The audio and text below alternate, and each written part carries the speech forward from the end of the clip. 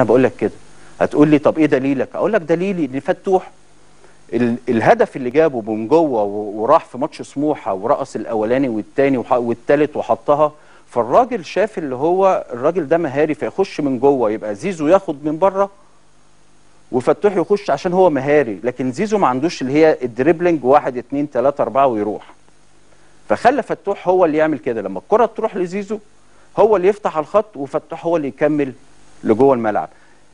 الموضوع ده ممكن ما, ما يعني ما فيش ناس آه، أو يعني اللي بيتفرجوا على على الماتش ما يقول لك عادي يا عم ده موقف وبتاع لكن مش ده الأساس. لا, لا ده هو ده كان الأساس. ناحية اليمين الشغل الطبيعي إن حازم بيروح والشغل الشمال زي ما آه، أنا قلته. طيب الجون جه إزاي؟ إن حازم وصل ولعب كروس. أوباما طبعا الدور الخفي اللي بيجيده جدا بشكل كبير جدا. والمباراة اللي قبلها اللي قبليها أو اللي قبل اللي قبل قبليها يعني كان هدف كان مش عارف ماتش إيه كان سموحة ولا إنبي تقريبا اللي جاب هدف بدماغه برضه. هو بقى هو بيجي من تحت مش متراقب محدش مركز معاه ويجي يدخل ال 18 ودي من ال- ال- المميزات اللي بيتميز بها أوباما. لكن أوباما لعيب كويس جدا ولعيب على مستوى عالي جدا ولا غنى عن عنه في نادي الزمالك طبعا. لكن على يعني أوقات كتير في المباراة ما يبقى آه ما, ما تلاقيهوش ما تحسش بيه مش موجود. يطلع لك في كورة كده وبعد كده يختفي مرة يعني كورة واثنين وثلاثة وأربعة ويظهر في واحدة. دي حاجة سلبية.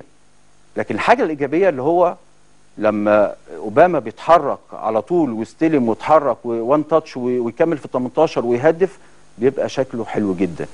بيختفي كتير مش كتير بس بيختفي بيبقاش ليه دور آه، بنفس مثلا بداية المباراة أو في نصها لأنه بيختفي على فترات.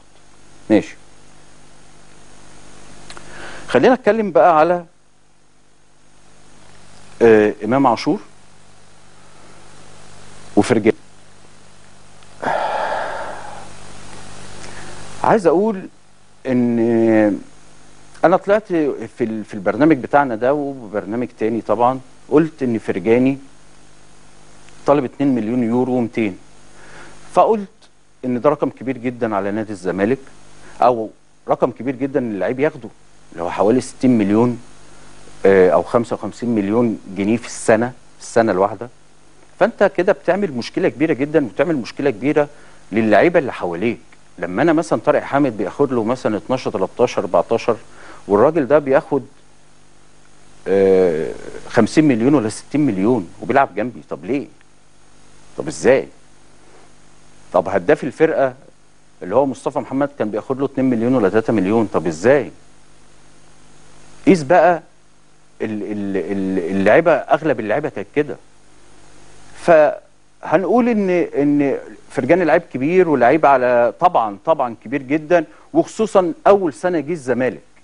أول سنة جه نادي الزمالك كان على مستوى عالي